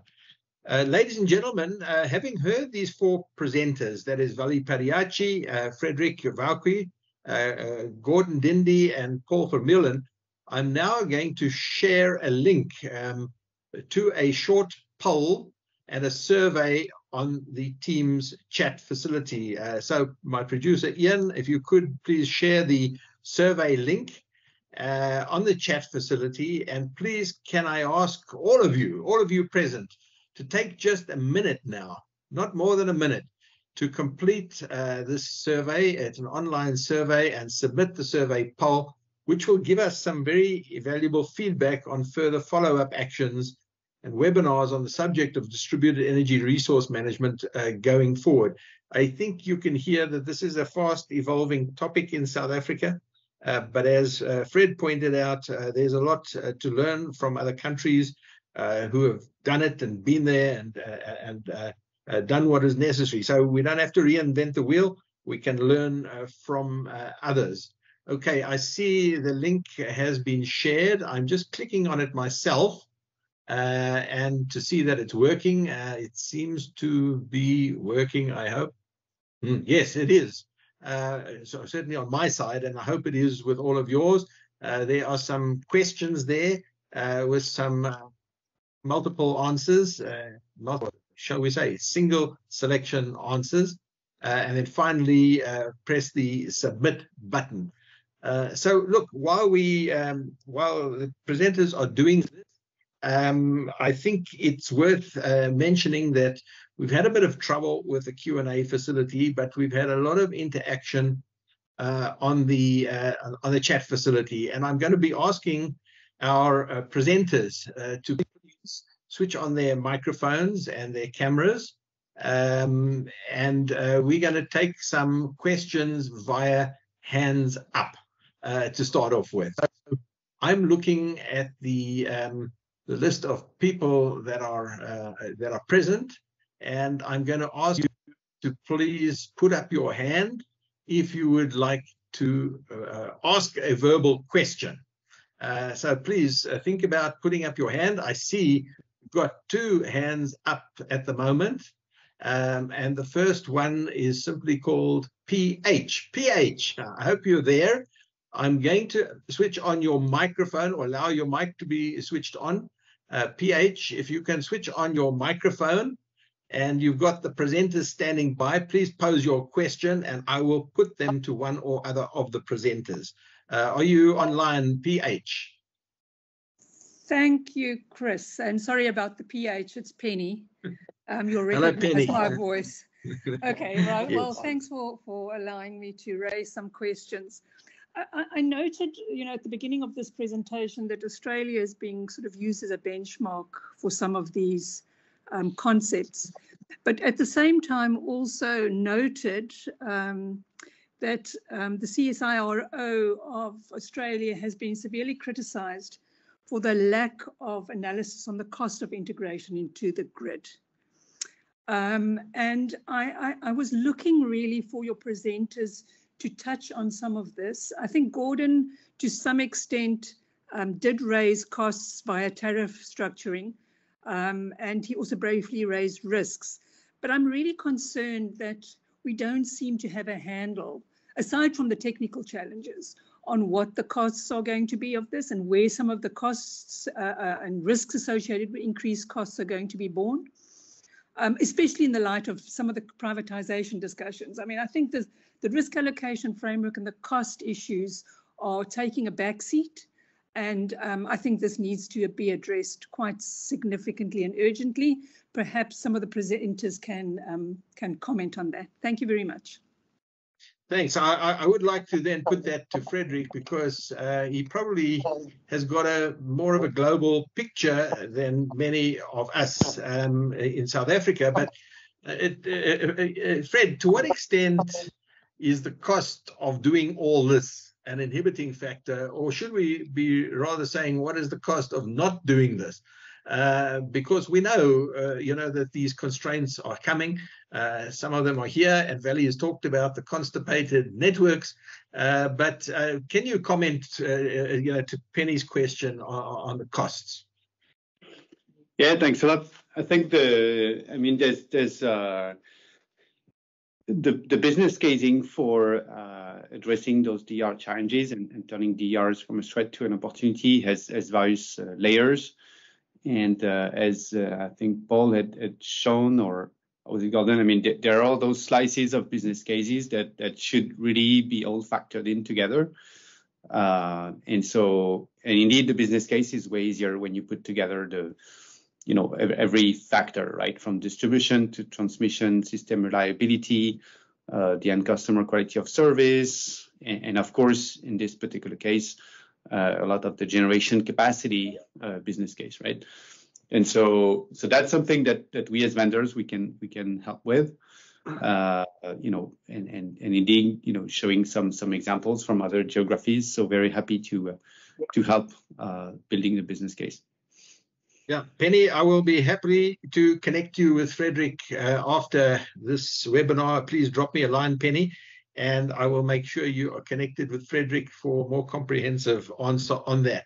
Uh, thanks for keeping it short, uh, Fred, because we've got a lot of questions to get through, and I ask all the presenters to please keep their responses uh, short as possible, and to the to the audience to keep their questions uh, short and sharp uh, and to the point. So I'm now looking at Hendrik uh, Twala. Hendrik, um, I'm going to allow you to switch on your microphone, so please do switch it on, and we're looking forward to your question. Thank you, uh, uh, Chris, and uh, good afternoon, all the presenters, and thanks for the present for the presentations.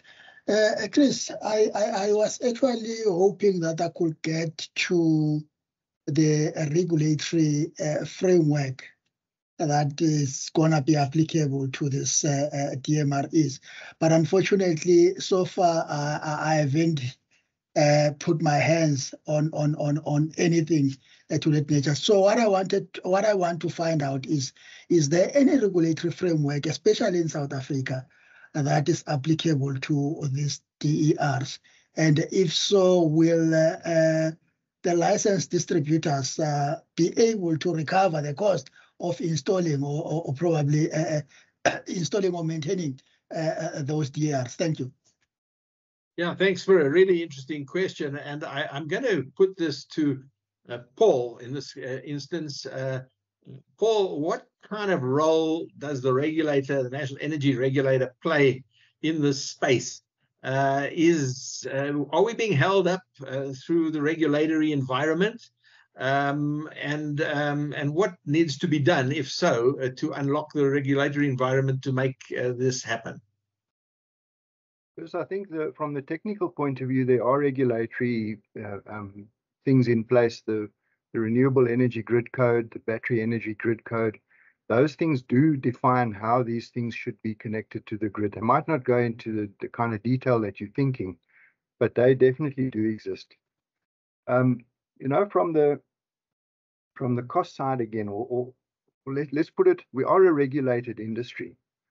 So we, we, we do, and it's also through NECOM, for example. Sorry about that through NECOM, we've we've had a lot of effort put into getting trading and wheeling working, a lot of effort to getting small scale embedded generation tariffs, uh, feed in tariffs going. So so there's definitely a lot happening there. Maybe it's happening a little bit slowly, but there are things happening. For example, also on demand response.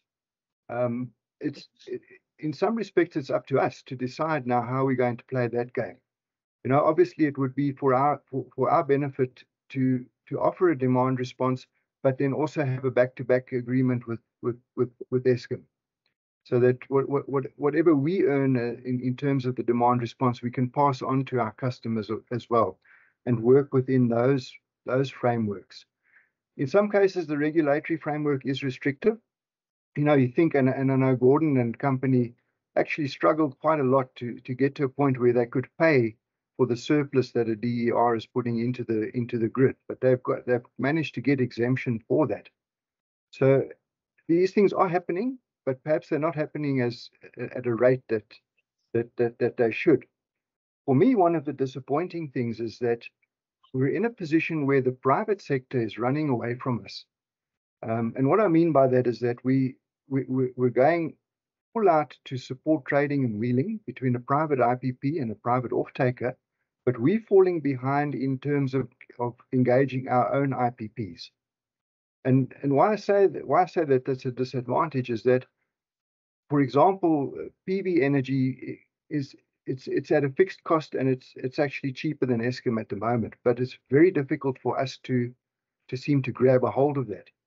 Um, if a municipality wants to engage an IPP or its own embedded generation, it's meant to follow a triple P process, which is a pretty laborious and onerous thing to to have to do.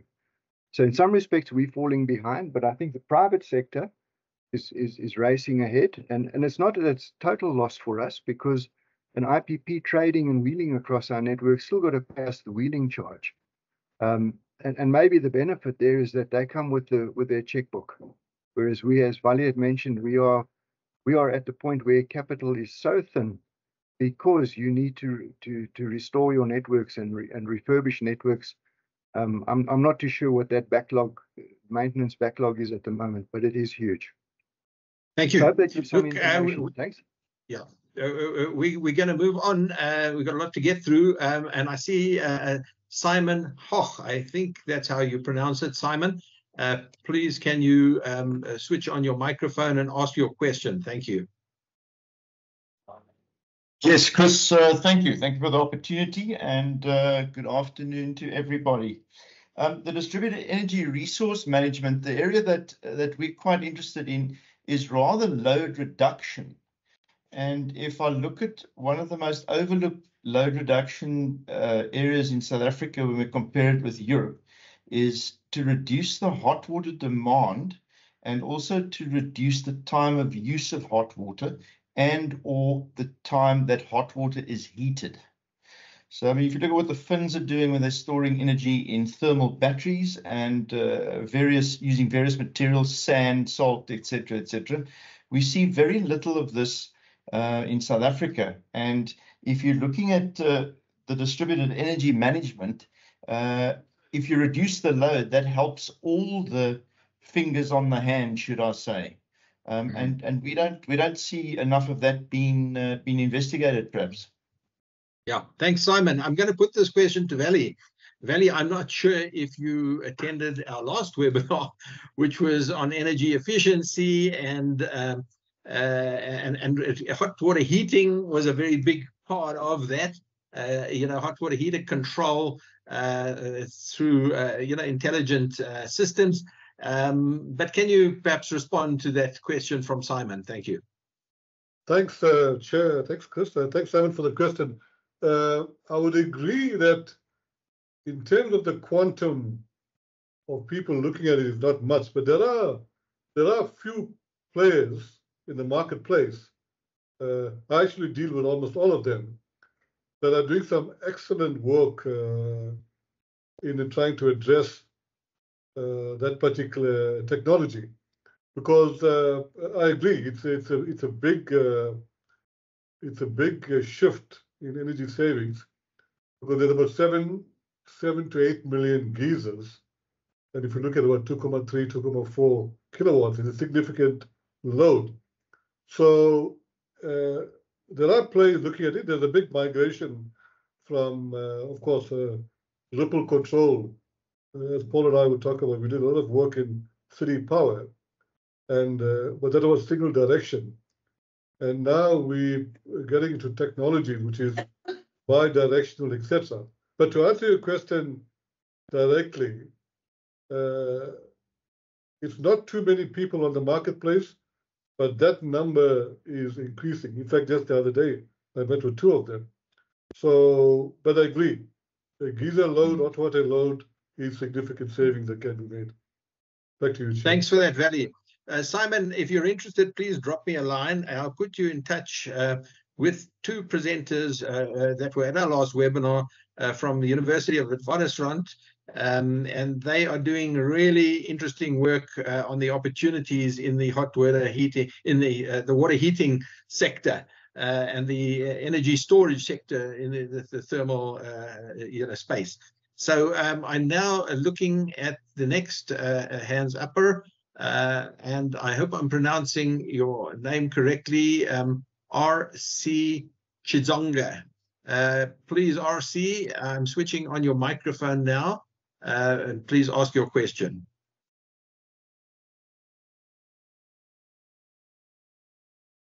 Are you there, RC? You're, you're, please switch on your mic. I have enabled it. Uh, can you hear me?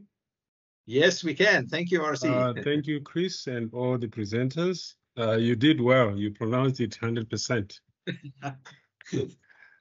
yeah. Um, Chris, I just wanted to know, probably from Frederick, uh, in the context of Europe, what is the common storage form that is, uh, you know, being used bearing in mind what uh, I think it was the gentleman from Cape Town City who spoke about the problems with frequency and inertia. Thank you.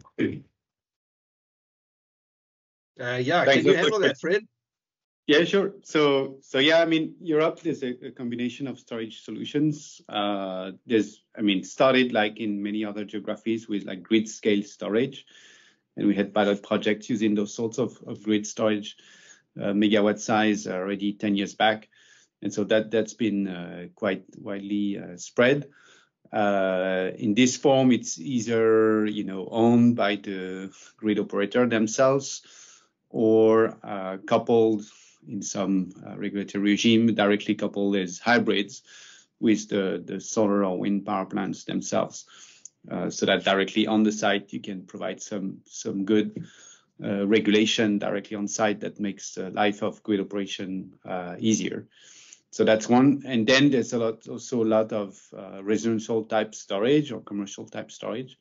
Uh, so very small, dispersed, and so quite innovative uh, actors in, in this space. Uh, some became global, right?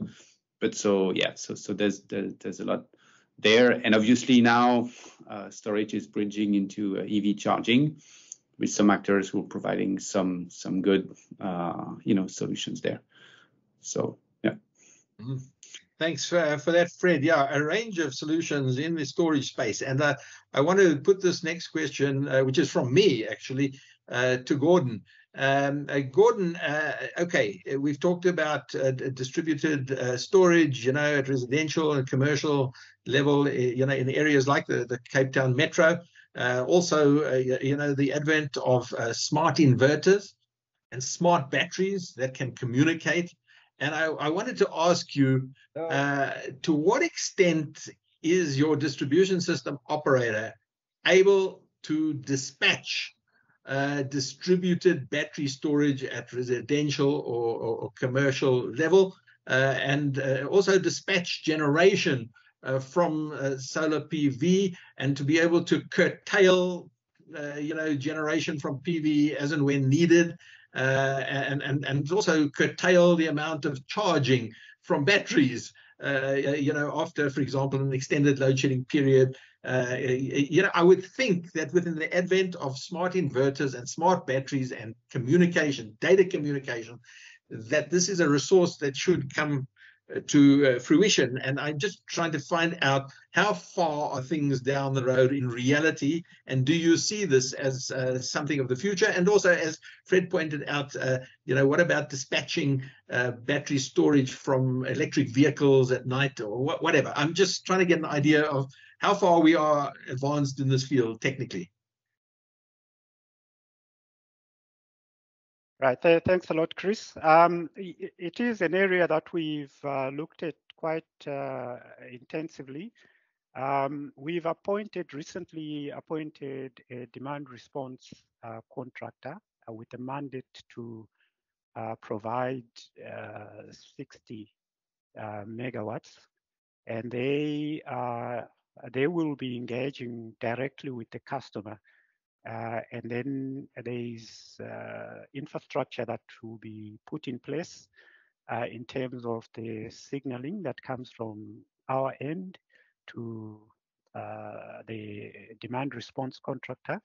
Um, and they would then have their infrastructure that goes into the various uh, residentials or commercials, and then we get the required megawatts mm. uh, reduction. So they, they, mm. that, that, that's a process, and that also mm. addresses mm. the issue of uh, batteries behind the meter, because there's two aspects to battery storage. You, you've got one that we are piloting. We're currently piloting a, a battery energy system, um, which will be utility connected. So we can dispatch that directly. And then from a demand response uh, perspective, we should be able to um, get those megawatts uh, via the uh, demand response uh, infrastructure. So there is some mm. controllability there. Uh, the initial mm. systems that came to the fore in terms of the um, solar PV particularly, uh, those are passive systems. Um, they mm. passive DERs. They are having an influence on on our grid. Uh, fortunately, um, we do have quite a significant amount of dispatchable generation. Uh, you could actually uh, call it a battery, that's a Steenbras, that we can then utilize as required um, when the solar irradiance uh, starts to decline and all those customers come and uh, start accessing the grid and then we see that uh, massive ramp up.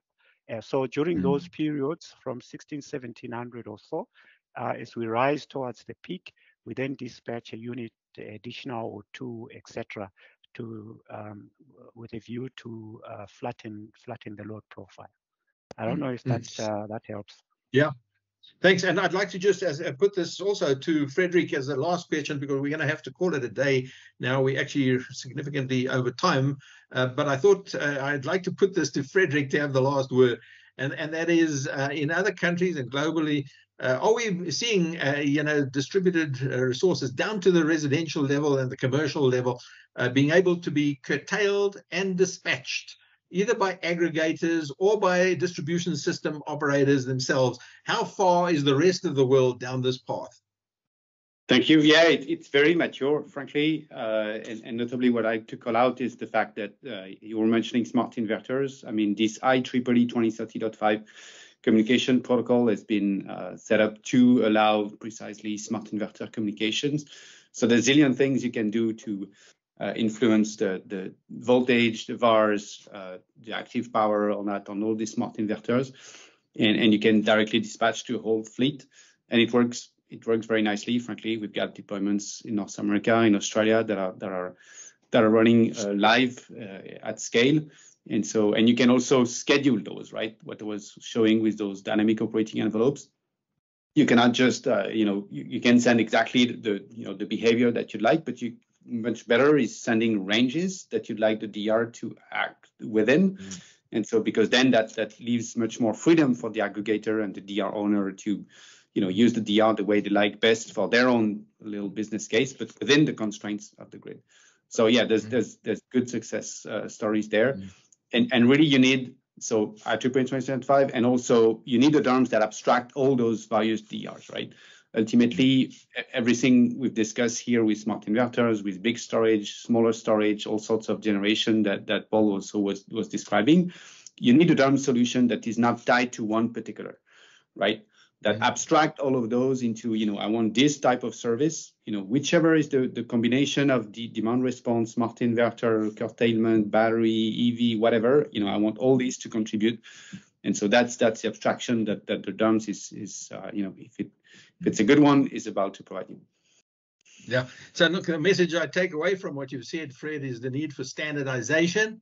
Uh, really critical and and and the, the really important role that in uh, you know information and communication technology uh, IT smart systems are going to play in this space uh, and that these smart solutions uh, you know using IT artificial intelligence uh, and and, and communications is really going to enable us to uh, shall we say, unconstipate the system and um, and really uh, get uh, help us get more out of our existing uh, networks, our existing grid, which is going to save huge amounts of investment and it's going to speed things up because grid upgrades we know is extremely difficult in this environment we live in. Uh, land rights, servitudes, uh, lines, power lines, cables, it, it's it's really a, a, slow business. So the more we can get out of the existing networks, the existing grid, the better. And I really value. I thought your your analogy there of volts, ohms, and amps, you know, really, you know, made it clear to me. uh, so thank you, uh, all of our presenters. Uh, thank you uh, for your the time that you've put in um, and the effort you've put in in making this a really interesting uh, starter of an event because I think there's more to follow. Uh, I think everybody can see that this is a wide open field. We're behind the curve we can learn uh, where others have uh, tread before us. Uh, we don't have to learn the hard way. We need to partner. We need to standardize. Uh, we need to set a roadmap going forward. And I hope that this webinar uh, has sort of given some thought. I'm sorry we haven't been able to take many more questions, but we're really out of time. We're 15 minutes over time. it's been a great session. And I've really enjoyed it. So thank you and good afternoon to you all.